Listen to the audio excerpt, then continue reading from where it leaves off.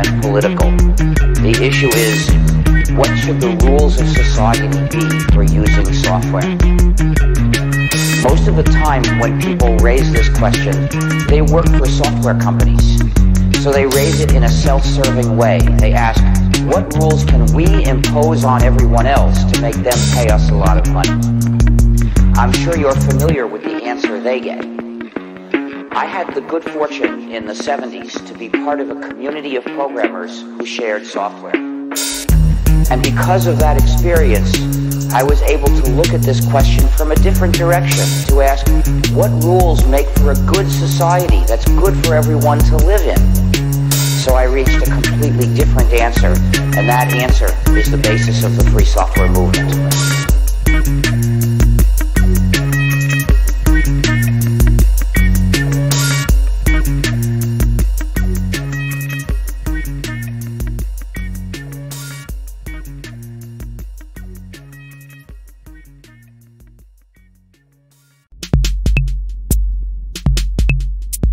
you